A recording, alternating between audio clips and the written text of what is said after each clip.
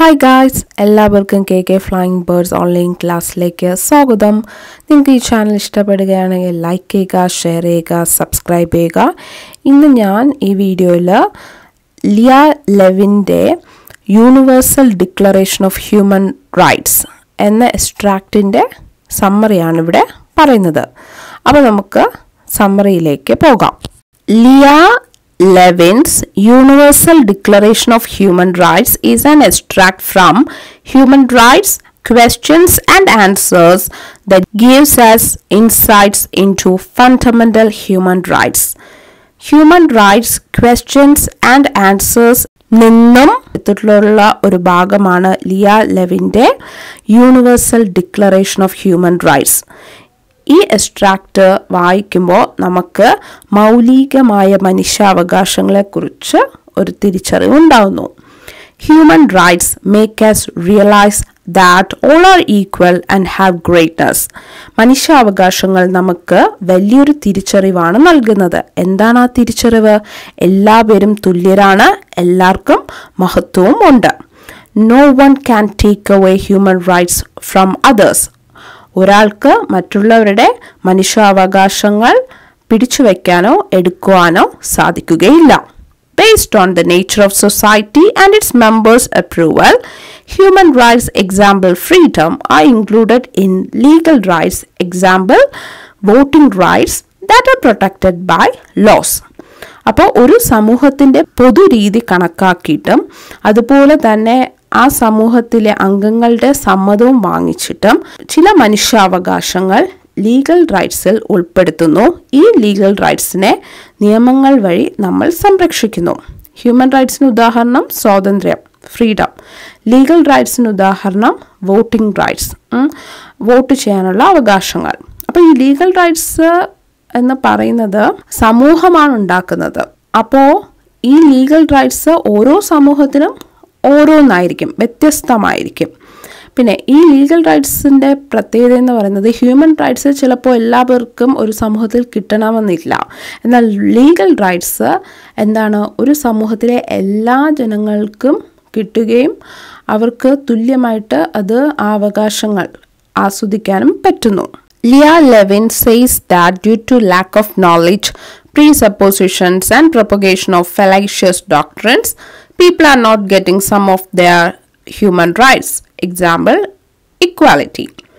ഇപ്പോൾ Leah Levin പറയുന്നത് ആൾക്കാർക്ക് ചില മനുഷ്യാവകാശങ്ങൾ ഉദാഹരണത്തിന് സമത്വം ഇക്വാലിറ്റി ലഭ്യമാകുന്നില്ല അതിന്റെ കാരണം എന്ന് പറയുന്നത് അറിവില്ലായ്മ പിന്നെ മുൻകൂട്ടിയുള്ള തെറ്റിദ്ധാരണകൾ പിന്നെ തെറ്റായ തത്വങ്ങളുടെ പ്രചരിപ്പിക്കൽ ഇവയൊക്കെ കൊണ്ടാണ് since people do not realise this they face inequality based on class, creed, race, ethnicity, etc. അപ്പോൾ ഇത് മിക്ക ആൾക്കാരും മനസ്സിലാക്കുന്നില്ല. അതുകൊണ്ട് അവർ വർഗം മതവിശ്വാസം വംശം വംശീയത മുതലായവയുടെ പേരിൽ എന്താണ് ഇങ്ങനത്തെ ഇൻഇക്വാലിറ്റീസ് നേരിടുന്നു. എന്ന് പറഞ്ഞാൽ അവർക്ക് മനുഷ്യാവകാശങ്ങൾ കിട്ടുന്നില്ല. അടുത്ത് നമ്മൾ നോക്കുന്നത് ഹ്യൂമൻ റൈറ്റ്സിന്റെ എവല്യൂഷൻ ആണ്. മനുഷ്യാവകാശത്തിന്റെ വളർച്ച അല്ലെങ്കിൽ വികാസം.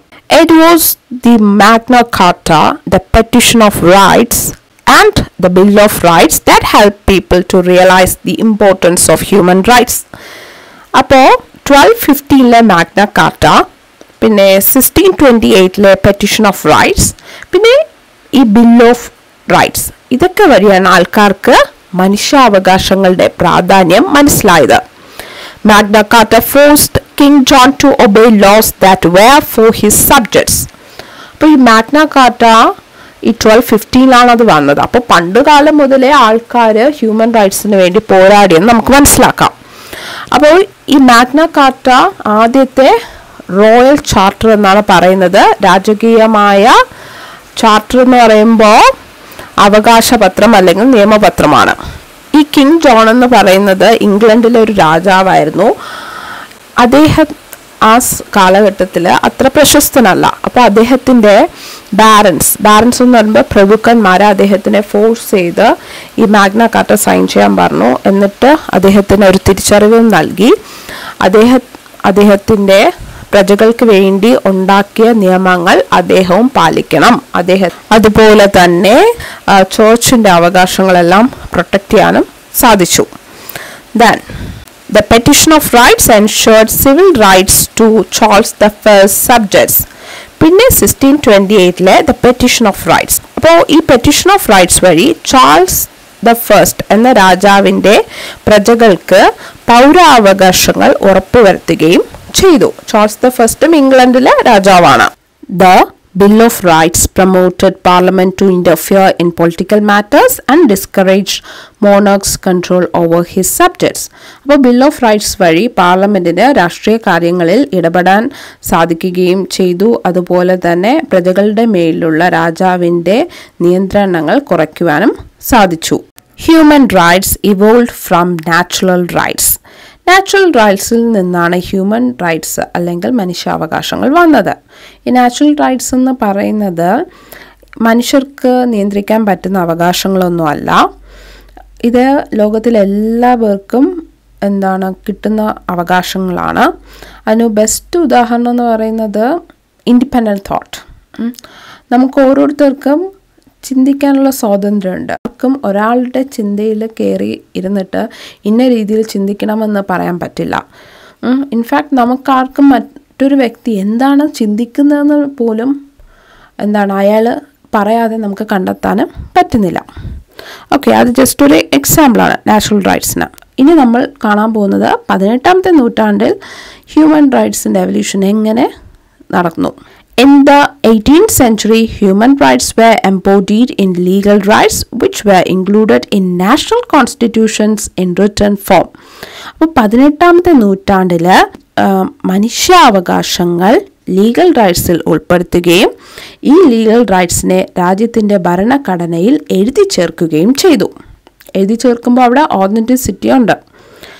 Then the French Declaration of the Rights of Man and the Citizen of 1789 and the American Bill of Rights in 1689 are products of this because these two gave importance to citizens of a country not the government അപ്പോൾ പതിനെട്ടാമത്തെ നൂറ്റാണ്ടിലെ ഈ വലിയൊരു മാറ്റം എന്ന് പറയുമ്പോൾ human rights legal റൈറ്റ്സിലോട്ട് ആവുകയും പിന്നെ അതിനെ നാഷണൽ കോൺസ്റ്റിറ്റ്യൂഷനിൽ ഉൾപ്പെടുത്തിയപ്പോൾ എന്തൊക്കെ കാര്യങ്ങൾ സംഭവിച്ചു French declaration of the rights of man and the citizen of seventeen eighty nine. പുറത്തു വന്നു. പിന്നെ the American bill of rights. അത് സിക്സ്റ്റീൻ എയ്റ്റി നയനിലാണ്. അപ്പോൾ ഇത് രണ്ടും എന്തിനാണ് പ്രാധാന്യം കൊടുത്തത്? ഒരു രാജ്യത്തിലെ പൗരന്മാർക്കാണ് പ്രാധാന്യം കൊടുത്തത്. അല്ലാതെ അവിടുത്തെ അധികാരികൾക്കല്ല. ഗവൺമെന്റിനല്ല ഇനി പത്തൊമ്പതാം നൂറ്റാണ്ടിൽ എന്ത് സംഭവിച്ചെന്ന് നോക്കാം. The nineteen century had witnessed the widespread implementation of human rights in the form of legal rights in most countries. പത്തൊമ്പതാം നൂറ്റാണ്ടിൽ ഒരുപാട് രാജ്യങ്ങൾ മനുഷ്യാവകാശങ്ങൾ ലീഗൽ റൈറ്റ്സിൽ ഉൾപ്പെടുത്തി അവിടുത്തെ ജനങ്ങൾക്ക് നൽകുകയും ചെയ്തു. But some of the legal rights are not enjoyed by the people because the state curbs them എന്നാൽ ചില ലീഗൽ റൈറ്റുകൾ ജനങ്ങൾക്ക് ആസ്വദിക്കാൻ പറ്റിയില്ല. കാരണം സ്റ്റേറ്റ് എന്ന് പറഞ്ഞാൽ ഗവൺമെന്റ് നിയന്ത്രണങ്ങൾ വെച്ചിട്ടുണ്ടായിരുന്നു. The human rights that we enjoy today have not been there in legal rights in the past നമ്മൾ ഇന്ന് കാണുന്ന മനുഷ്യാവകാശങ്ങൾ പണ്ട് ലീഗൽ റൈറ്റ്സിൽ ഉൾപ്പെടുത്തിയിരുന്നില്ല. International treaties treaties played a role to convert these human rights rights into legal rights. ഒരുപാട് അന്താരാഷ്ട്ര ഉടമ്പടികൾ വഴിയാണ് ഇന്ന് കാണുന്ന മനുഷ്യാവകാശങ്ങൾ ലീഗൽ റൈറ്റ്സിൽ ഉൾപ്പെടുത്തിയത്. പിന്നെ അങ്ങോട്ട് നമ്മൾ കുറച്ച് ഇന്റർനാഷണൽ ട്രീറ്റീസ് ആണ് പഠിക്കുന്നത്.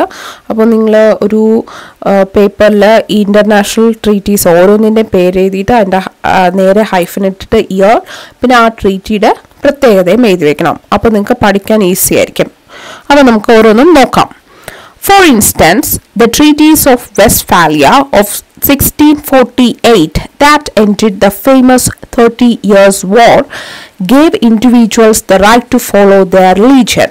ഉദാഹരണത്തിന് സിക്സ്റ്റീൻ ഫോർട്ടി എയ്റ്റിലെ ട്രീറ്റീസ് ഓഫ് വെസ്റ്റ്ഫാലിയ ഈ ട്രീറ്റീസ് വളരെ പ്രശസ്തമായ തേർട്ടി ഇയേഴ്സ് വാർ അവസാനിപ്പിക്കാൻ സഹായിച്ചു അതുപോലെ ഈ ട്രീറ്റീസ് ഓഫ് വെസ്റ്റ്ഫാലിയ വഴി ആൾക്കാർക്ക് അവർക്ക് ഇഷ്ടമുള്ള മതം പിന്തുടരാനുള്ള അവകാശം കിട്ടുകയും ചെയ്തു.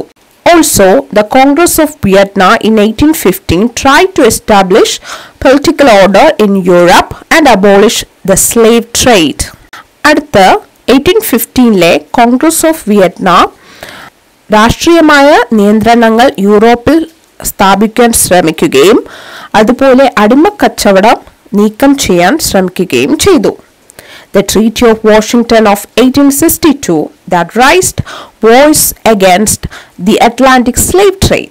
1862ലെ The Treaty of Washington വഴി അറ്റ്ലാന്റിക്കിൽ നടക്കുന്ന അടിമക്കച്ചവടത്തിന് എതിരെ ശബ്ദമുയർത്താൻ സാധിച്ചു and documents of the congress in Brussels in 1867 and 1890 and Berlin in 1885 that took anti-slavery steps played a prominent role in banning slave trade and promoting anti-slavery.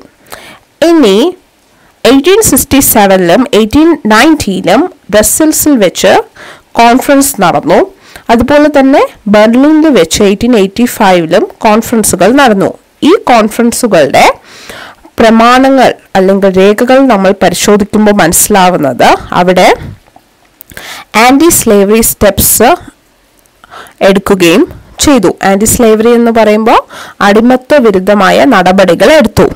ഇനി overall ഈ the congress of Vietnam in eighteen fifteen പിന്നെ the treaty of Washington of eighteen sixty two പിന്നെ eighteen sixty seven and eighteen ninety and Berlin in eighteen eighty five ഇവയെല്ലാം പ്രധാനമായിട്ടും അടിമക്കച്ചവടം നിരോധിക്കാൻ ഒരു വലിയൊരു പങ്ക് വഹിച്ചു. അതുപോലെ തന്നെ ആന്റി സ്ലേവറി അടിമത്വ വിരുദ്ധ കാര്യങ്ങൾ നടത്തുവാനുള്ള പ്രോത്സാഹനവും നൽകി. These helped people to understand that everyone has the right to have freedom and no one is anyone's slave. ഇതുവഴി ജനങ്ങൾക്ക് വലിയൊരു കാര്യം മനസ്സിലായി. എല്ലാവർക്കും സ്വാതന്ത്ര്യം ഉണ്ട്. അത് അവരുടെ അവകാശമാണ്.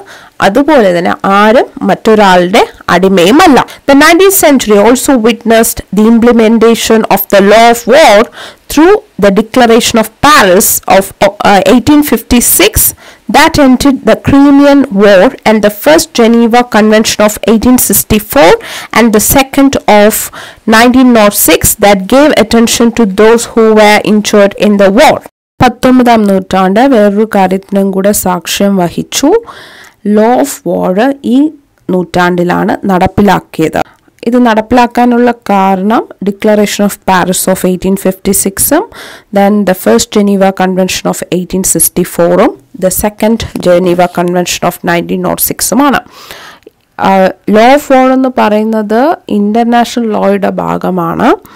ഇത് മെയിനായിട്ട് ഫോക്കസ് ചെയ്യുന്നത് യുദ്ധ നടക്കുമ്പോൾ യുദ്ധം ചെയ്യുന്ന രാജ്യങ്ങൾ ഒരുപാട് നിയമങ്ങളൊക്കെ പാലിക്കണം. അതൊക്കെ പാലിക്കുന്നുണ്ടോ? പിന്നെ യുദ്ധം ചെയ്തുകൊണ്ടിരിക്കുമ്പോൾ ഈ രാജ്യങ്ങൾ ഇവർ ഈ ലോയ്ക്കനുസരിച്ചാണോ യുദ്ധം നടത്തുന്നത്? ഇതെല്ലാം നിരീക്ഷിക്കുന്നു. ഇനി declaration of Paris of eighteen fifty സിക്സിന് വേറൊരു പ്രത്യേകതയും കൂടെ ഉണ്ട് ആ കാലഘട്ടത്തിലെ ക്രിമിയൻ യുദ്ധത്തിനെ അവസാനിപ്പിക്കാൻ ഇത് സഹായിച്ചു. പിന്നെ the first Geneva convention of eighteen sixty ഫോറും പിന്നെ the second Geneva convention of nineteen nought സിക്സും വേറൊരു കാര്യത്തിനും കൂടെ നമ്മുടെ ശ്രദ്ധ ആകർഷിച്ചു. എന്താണത്? യുദ്ധത്തിൽ മുറിവേൽക്കുന്ന പട്ടാളക്കാരെ സാധാരണ ആൾക്കാരെയൊക്കെ സംരക്ഷിക്കണം എന്ന ഒരു തിരിച്ചറിവും കൂടെ ഇത് ഈ രണ്ട് കൺവെൻഷൻസും നമുക്ക് നൽകി. The first Geneva Convention of 1864 played a significant role in forming the International Committee of the Red Cross, short formula ICRC, in 1864 that stressed everyone's health. നമ്മൾ കാണുന്ന ഇന്നത്തെ റെഡ് ക്രോസ് വരുവാൻ കാരണം first Geneva convention of eighteen sixty four ആണ് ഈ eighteen sixty ഫോറിൽ തന്നെ ഈ കൺവെൻഷൻ കാരണം international committee of the red cross രൂപം കൊണ്ടു ഈ കമ്മിറ്റി ഫോക്കസ് ചെയ്യുന്നത് ആൾക്കാരുടെ ആരോഗ്യം അതുപോലെ തന്നെ ആൾക്കാരുടെ ജീവൻ നിലനിർത്തുന്നതും ഒക്കെയാണ് ഇവർ ഫോക്കസ് ചെയ്യുന്നത്. അടുത്ത നമ്മൾ ഇരുപതാം നൂറ്റാണ്ടിൽ എന്തൊക്കെ സംഭവിച്ചു എന്ന് നോക്കാം. The twenty century had witness two world wars that aggravated to maintain human rights അപ്പോൾ ഇരുപതാം നൂറ്റാണ്ട് രണ്ട് മഹാലോക യുദ്ധങ്ങളാണ് ആ, സാക്ഷ്യം വഹിച്ചത്. അപ്പോൾ തന്നെ ആൾക്കാർക്ക് മനസ്സിലായി മനുഷ്യാവകാശങ്ങളുടെ പ്രാധാന്യവും അത് നിലനിർത്തേണ്ടത് എന്തുമാത്രം അത്യാവശ്യമെന്ന് so the league of nations and inter governmental organisation was set up on ten January 1920 and was disbanded on 20 April 1946. അപ്പോൾ ഇതിന്റെ ഭാഗമായിട്ട് ആയിരത്തി തൊള്ളായിരത്തി ഇരുപത് ജാനുവരി പത്താം തീയതി ലീഗ് ഓഫ് നേഷൻസ് എന്ന ഒരു ഇന്റർ ഗവൺമെന്റൽ സംഘടന രൂപീകരിച്ചു. ഇന്റർ ഗവൺമെന്റൽ എന്ന് പറയുമ്പോൾ രണ്ടോ അതിലധികമോ ഭരണകൂടങ്ങൾ ഒരുമിച്ച് ചേർന്ന് നയിക്കുന്ന ഒരു സംഘടന. പക്ഷേ ഈ സംഘടന ആയിരത്തി തൊള്ളായിരത്തി നാൽപ്പത്തി ആറ് ഏപ്രിൽ ഇരുപതാം തീയതി പിരിച്ചുവിടുകയും ചെയ്തു. ഇനി ഈ സംഘടന എന്താണ് ചെയ്തതെന്ന് നോക്കാം the league of nations played a prominent role in forming the international labour organisation that is ILO in 1919 and making a treaty named the International Slavery Convention on 25 September 1926. അപ്പോൾ ഈ ലീഗ് ഓഫ് നേഷൻസ് രണ്ട് main കാര്യങ്ങളാണ് ചെയ്തത്. ഒന്ന് international labour organisation രൂപീകരിച്ചു ആയിരത്തി തൊള്ളായിരത്തി പത്തൊമ്പതിൽ പിന്നെ ഇന്റർനാഷണൽ സ്ലേവറി കൺവെൻഷൻ നടത്താനുള്ള ഉടമ്പടിയും അവർ കൊണ്ടുവന്നു. ഇനി ഇതിന്റെ രണ്ടിന്റെയും പ്രാധാന്യവും എന്തൊക്കെയാണ് ചെയ്തതെന്നും നോക്കാം. I L O addresses the grievances of labourers who are working in company I L O focus ചെയ്യുന്നത് കമ്പനികളിൽ ജോലി ചെയ്യുന്ന ജോലിക്കാരുടെ വിഷമങ്ങളും ദുഃഖങ്ങളും ദുരിതപ്പാടും ഒക്കെയാണ് international slavery convention on twenty five September nineteen twenty six took measures to ban slavery and the slave trade ആയിരത്തി തൊള്ളായിരത്തി ഇരുപത്തി ആറ് സെപ്റ്റംബർ ഇരുപത്തഞ്ചാം തീയതി നടന്ന ഇന്റർനാഷണൽ സ്ലേവറി കൺവെൻഷൻ അടിമത്വവും അതുപോലെ തന്നെ അടിമത്ത കച്ചവടം നിരോധിക്കാനുള്ള കാര്യങ്ങളൊക്കെ കൊണ്ടുവരികയും അത് നടപ്പിലാക്കുകയും ചെയ്തു. Also, in the 20th century, steps were taken to give human rights to refugees in 1933 and 1938. ഇരുപതാം നൂറ്റാണ്ട് വേറൊരു കാര്യം ആ, കണ്ടു. എന്താണ്? ആയിരത്തി തൊള്ളായിരത്തി മുപ്പത്തി മൂന്നിലും ആയിരത്തി തൊള്ളായിരത്തി മുപ്പത്തി എട്ടിലും അഭയാർത്ഥികൾക്ക് മനുഷ്യാവകാശങ്ങൾ കൊടുക്കണമെന്ന് പറഞ്ഞ് ഒരുപാട് കാര്യങ്ങൾ അന്താരാഷ്ട്ര സംഘടനകൾ ചെയ്തു but human rights were tarnished away by authoritarian governments in the first world War and the second world War. എന്നാൽ ഒന്നാം ലോക മഹായുദ്ധ സമയവും രണ്ടാം ലോക മഹായുദ്ധ സമയവും ജനങ്ങളോട് ഉത്തരവാദിത്തമില്ലാത്ത ഗവൺമെന്റുകൾ മനുഷ്യാവകാശങ്ങളുടെ പ്രാധാന്യം കുറച്ചു എന്ന് ആൾക്കാർക്ക് അവരുടെ മനുഷ്യാവകാശങ്ങൾ കിട്ടിയില്ല These led to the formation of an intergovernmental organization called the United Nations to ensure human rights, equality, peace, and freedom for everyone. അപ്പോൾ ഇതിന്റെ അനന്തരഫലമായിട്ട് യുണൈറ്റഡ് നേഷൻസ് എന്ന് പറയുന്ന ഒരു ഇന്റർ ഗവൺമെന്റൽ സംഘടന രൂപം കൊണ്ടു നമുക്കറിയാം യുണൈറ്റഡ് നേഷൻസ് അല്ലേ ഈ സംഘടനയുടെ ലക്ഷ്യമെന്ന് പറയുന്നത് ഈ സംഘടനയിൽ അംഗങ്ങളായിട്ടുള്ള രാജ്യങ്ങളിലെ ജനങ്ങൾക്ക് മനുഷ്യാവകാശങ്ങളും സമത്വവും സമാധാനവും അതുപോലെ തന്നെ സ്വാതന്ത്ര്യവും ഈ സംഘടന ഉറപ്പുവരുത്തുന്നു. Ninety three countries are members of the united nations ഇപ്പോൾ വൺ നയന്റി ത്രീ രാജ്യങ്ങളാണ് ഈ യുണൈറ്റഡ് നേഷൻസിന്റെ അംഗങ്ങൾ. The United Nations gives importance to the principle of non-discrimination. മറ്റുള്ളവരെ വിവേചനത്തോടുകൂടി നോക്കിക്കാണാൻ പാടില്ല എന്ന അടിസ്ഥാന തത്വത്തിന് യുണൈറ്റഡ് നേഷൻസ് വളരെയധികം പ്രാധാന്യം നൽകുന്നു The Charter of the United Nations says that the main objective is to safeguard humanity from the scourge of war and promote human rights. United നേഷൻസിന്റെ charter എന്ന് പറഞ്ഞാൽ അവകാശപത്രം അല്ലെങ്കിൽ നിയമപത്രം വായിക്കുമ്പോൾ നമുക്ക് ഒരു കാര്യം മനസ്സിലാവും. ഈ സംഘടനയുടെ പ്രധാന ഉദ്ദേശമെന്ന് പറയുന്നത് മനുഷ്യരാശിയെ മറ്റൊരു യുദ്ധത്തിന്റെ വിപത്തിൽ നിന്നും സംരക്ഷിക്കുക. എന്ന് പറഞ്ഞാൽ ഇനി വേറൊരു യുദ്ധം ഈ ലോകത്ത് നടക്കാൻ പാടില്ല. അതുപോലെ മനുഷ്യാവകാശങ്ങൾക്കും യുണൈറ്റഡ് നേഷൻസ് പ്രാധാന്യം നൽകുന്നുണ്ട്. It also upholds international law അന്താരാഷ്ട്ര നിയമങ്ങളും United Nations ഉയർത്തിപ്പിടിക്കുന്നു. The united nations member states have to ensure human rights to it citizens and comply with human rights united നേഷൻസിൽ അംഗങ്ങളായിട്ടുള്ള രാജ്യങ്ങൾ അവരുടെ പൗരന്മാർക്ക് മനുഷ്യാവകാശങ്ങൾ നൽകുകയും അത് അവർക്ക് കിട്ടുന്നുണ്ടോയെന്ന് ഉറപ്പുവരുത്തുകയും ചെയ്യേണ്ടതാണ്. They should not breach human rights ഈ രാജ്യങ്ങൾ മനുഷ്യാവകാശങ്ങൾ ലംഘിക്കാൻ പാടില്ല. To achieve these the united nations member states should be friendly with each other ഈ കാര്യങ്ങൾ നിറവേറ്റാൻ വേണ്ടി യുണൈറ്റഡ് നേഷന്റെ മെമ്പേഴ്സായിട്ടുള്ള രാജ്യങ്ങൾ പരസ്പരം സൗഹൃദത്തിലായിരിക്കണം. Through the International Bill of Human Rights, the United Nations General Assembly had embarked on the Universal Declaration of Human Rights for making human rights possible to everyone.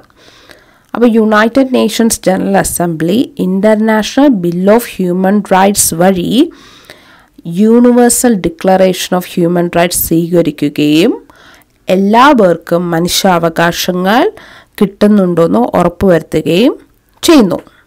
These ensure two types of human rights such as civil and political rights and the economic, social and cultural rights. അപ്പോൾ ഇത് രണ്ട് തരത്തിലുള്ള മനുഷ്യാവകാശങ്ങളാണ് ജനങ്ങൾക്ക് നൽകുന്നത്.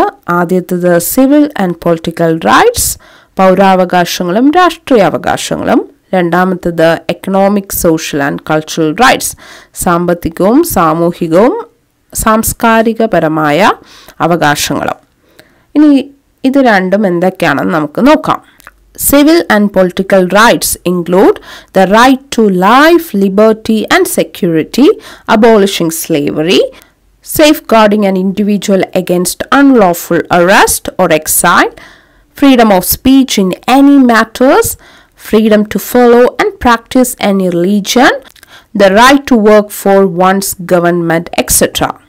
അപ്പോൾ civil and political റൈറ്റ്സിൽ വരുന്നത് നമ്മുടെ ജീവൻ സംരക്ഷിക്കുന്നതും സ്വാതന്ത്ര്യവും അതുപോലെ തന്നെ സുരക്ഷിതത്വനുമുള്ള അവകാശങ്ങളും അതുപോലെ അടിമത്വം നിറത്തിലാക്കുന്നതും നിയമവിരുദ്ധമായി ഒരു വ്യക്തിയെ അറസ്റ്റ് ചെയ്യുന്നതോ നാട് കടത്തുന്നതിനോ എതിരെ നിൽക്കുന്നതും ഏത് വിഷയത്തിനെക്കുറിച്ചും തുറന്നു പറയാവുന്ന അഭിപ്രായ സ്വാതന്ത്ര്യവും ഒരു വ്യക്തിക്ക് ഏത് മതവും ആചരിക്കാനും പിന്തുടരാനും ഉള്ള സ്വാതന്ത്ര്യവും അതുപോലെ ഒരു വ്യക്തിക്ക് അയാളുടെ ഗവൺമെന്റിന്റെ കീഴിൽ ജോലി ചെയ്യാനുള്ള അവകാശങ്ങളും ഒക്കെയാണ്. Economic social and cultural rights and compass the right to do a job to get an education to have standard of living to get equal pay for equal work etcetera ഇനി എക്കണോമിക് സോഷ്യൽ ആൻഡ് കൾച്ചറൽ റൈറ്റ്സിൽ വരുന്നത് ജോലി ചെയ്യാനുള്ള അവകാശം വിദ്യാഭ്യാസം നേടാനുള്ള അവകാശം ഉയർന്ന ജീവിത നിലവാരം പുലർത്താനുള്ള അവകാശം അതുപോലെ തുല്യ ജോലിക്ക് തുല്യ വേതനം നൽകുന്ന അവകാശങ്ങളുമാണ് Article 1 of the universal declaration of human rights says that all are equal and have greatness. Universal declaration of human റൈറ്റ്സിന്റെ article one പറയുന്നത് എല്ലാവരും തുല്യരാണ് അതുപോലെ എല്ലാവർക്കും മഹത്വവും ഉണ്ട് Article 2 mentions that everyone should get human rights. Article 2 പറയുന്നത് എന്താണ് എല്ലാവർക്കും മനുഷ്യാവകാശങ്ങൾ കിട്ടേണ്ടതാണ് As the extract ends, Leah Lewis says that based on race, class, caste, gender, ethnicity, etc., one should not take away another's human rights. അപ്പോൾ ഈ extract അവസാനിക്കുമ്പോൾ ലിയ ലെവിറ്റ്സ് പറയുന്നത് ഒരാൾ മറ്റൊരാളുടെ വംശം വർഗം ജാതി ലിംഗം വംശീയത മുതലായവയുടെ പേരിൽ അയാളുടെ മനുഷ്യാവകാശങ്ങൾ നിഷേധിക്കാനുള്ള ഒരു റൈറ്റും ആ വ്യക്തിക്ക് ഇല്ലെന്നാണ്. എന്ന് പറഞ്ഞാൽ ആർക്കും മറ്റൊരാളുടെ മനുഷ്യാവകാശങ്ങൾ എടുക്കാനുള്ള സ്വാതന്ത്ര്യം ഇല്ല. ഇതോടുകൂടി ഇന്നത്തെ വീഡിയോ അവസാനിക്കുകയാണ്. നിങ്ങൾക്ക് ഇന്നത്തെ വീഡിയോ ഇഷ്ടപ്പെടുകയാണെങ്കിൽ ലൈക്ക് ചെയ്യുക ഷെയർ ചെയ്യുക സബ്സ്ക്രൈബ് ചെയ്യുക. താങ്ക്